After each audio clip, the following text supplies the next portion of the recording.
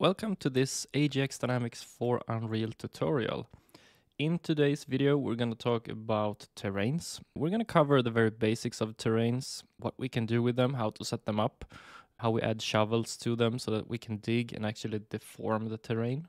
So the demos you're seeing here, you can actually download them by going to the AGX top menu here and then going demo projects. Uh, also, we have a tutorial hallways demo project that you can download from the marketplace. Uh, it also features a terrain level. So that level is actually made to explain the different concepts of terrain. So definitely check that out as well. So in this video, we will basically start from scratch.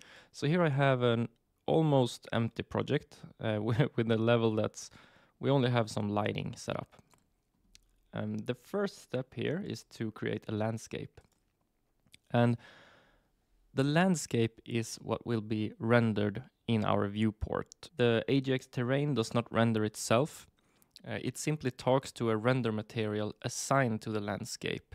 Uh, I'm going to talk about that and how that works a little bit later. The resolution of the landscape is very important. So the resolution of the landscape determines the resolution of the terrain. So I'm gonna set this to something like 15 by 15 in X and Y, meaning that the voxel grid of the AGX terrain will be 15 centimeters. The overall size I think is fine, so I am gonna press create here. And just to have something to dig into, I'm gonna select the sculpt tool and just make some something like that. So at this point, AGX Dynamics for Unreal doesn't actually know about this landscape yet. And I'll, I can showcase this by just throwing in a rigid body. Um, let's add a sphere shape to that. And I'm gonna let this fall. So what you saw there is that the sphere just fell right through the landscape. That's where the terrain comes in. So let's now add an AGX terrain.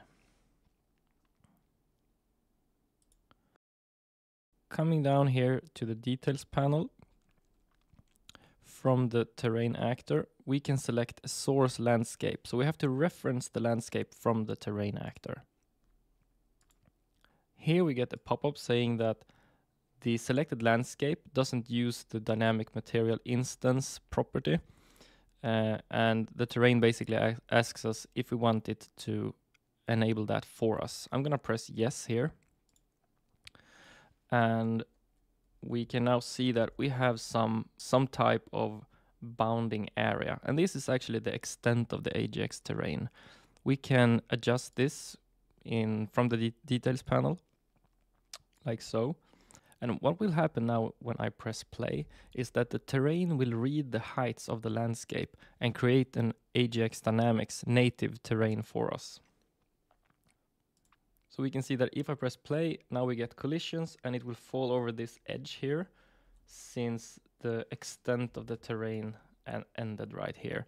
We can also enable infinite bounds, then it will find the edges of the landscape and just use the whole landscape. If you're having really large landscapes, there might be issues with memory usage, and that's where terrain paging comes in. And I will talk about terrain paging a little bit later in this video.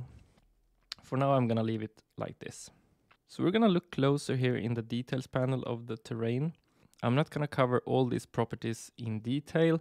Um, you can check out the user manual, which has more information. One really important property is the terrain material. And the terrain material describes how the terrain bulk will behave. So with the plugin, you get a library of calibrated materials here. So I can just select gravel 1, for example. You can, of course, create your own terrain materials uh, if we open this up, we see that we have a bunch of different uh, properties that we can set. These can be adjusted to fit the actual terrain you want. By the way, if you're not seeing these built-in materials, you might have to come to the content browser settings and selecting the show plugin content. That's just a quick tip for you. Uh, the shape material describes the behavior of the surface of the terrain. Things like friction, uh, surface viscosity, and so forth. Uh, just like they do on regular shapes. Um, here we see something important. So we see that we have shovels and shovel components. The reason we have two of these now uh, is that the shovels is actually the old way of, of specifying shovels. This is deprecated as we can see in the tooltip.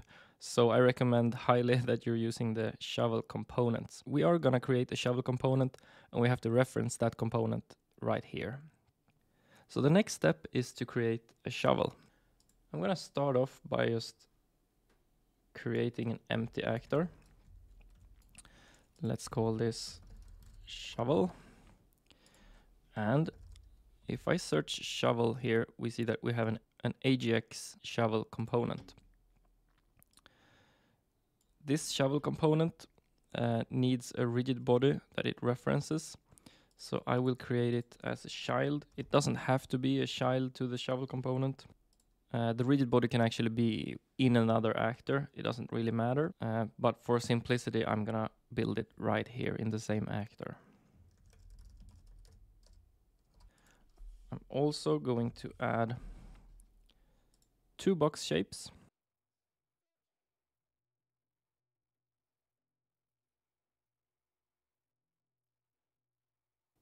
I'm gonna angle this slightly. So as you notice, this is not gonna be an overly pretty shovel. Uh, normally you will have, oh, we got some sea finding there. Uh, normally will have a, a, mesh that represent your represents your shovel, but just for demonstration purposes, I'm gonna create it, create a, a very very simple uh, shovel here. Uh, let's rotate that like so.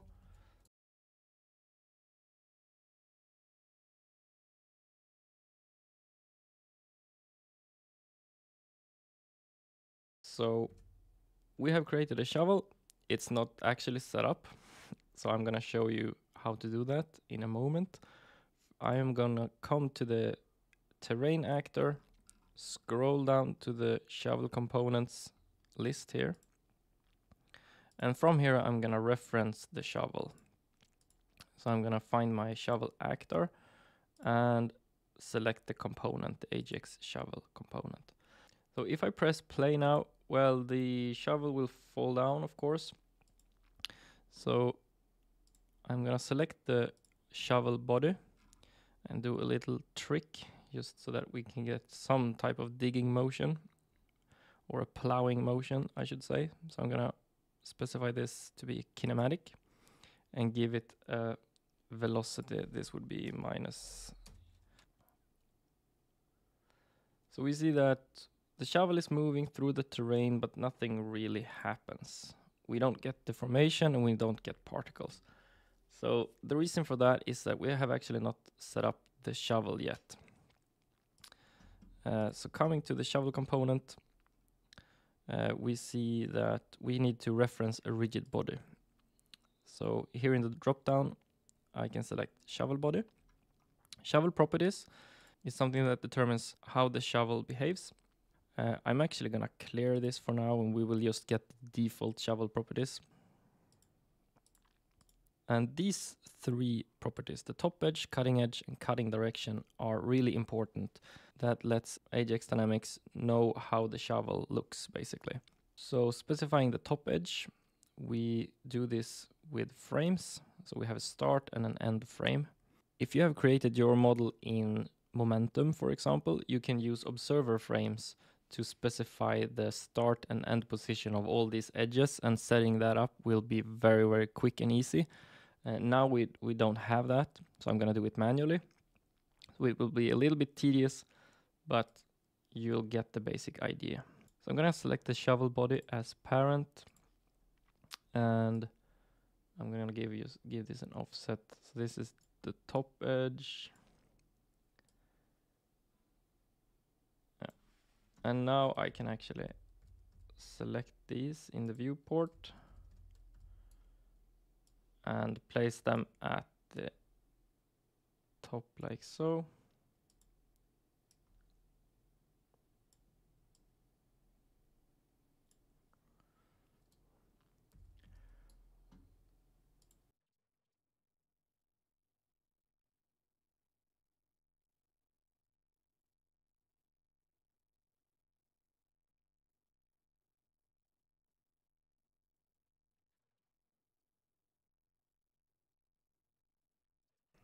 Something like this.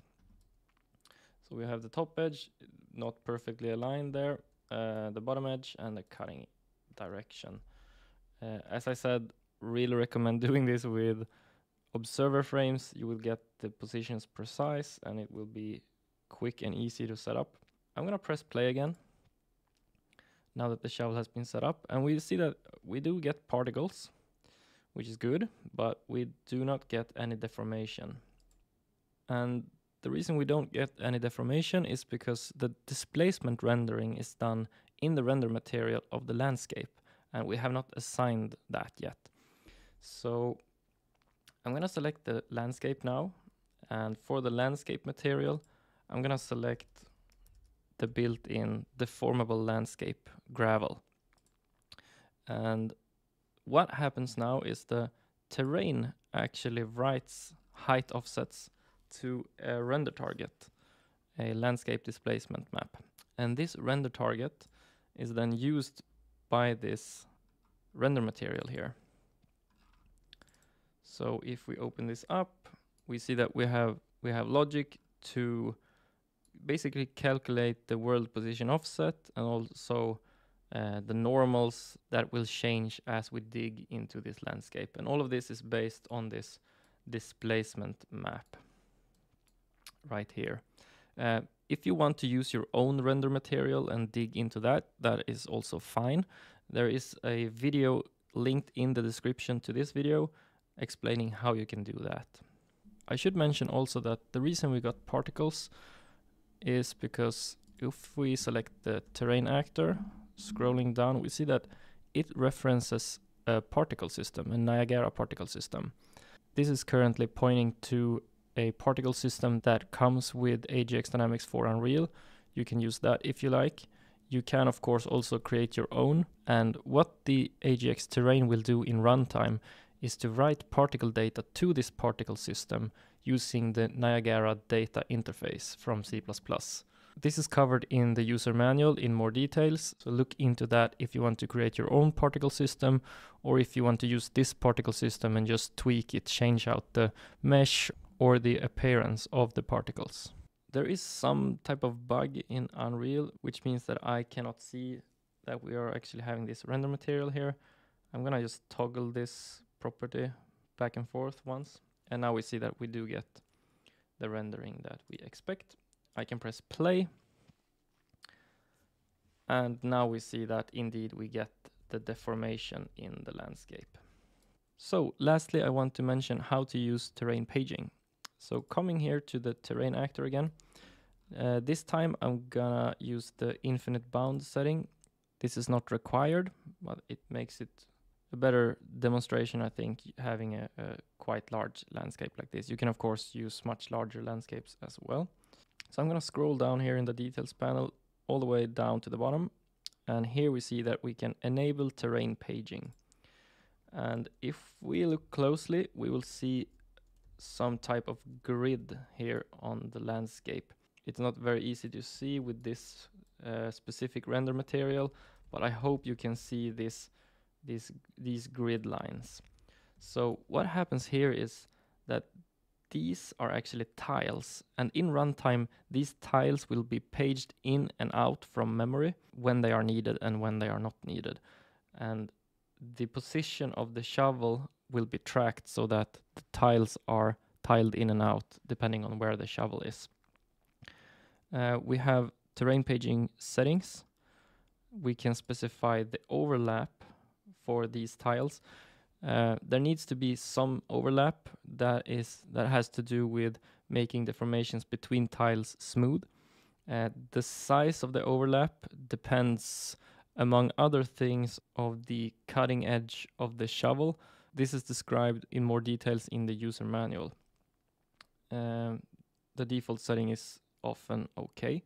The tile size is just how large each tile will be. Uh, this can be selected depending on your performance and memory needs. If you have a vehicle, for example, that does not have a shovel, you can of course use that on a paging terrain as well. There you can just track a rigid body within that vehicle and tiles will be loaded in and out the same way. So if I press play now, I detach and select the terrain actor. We see now that we actually get tiles.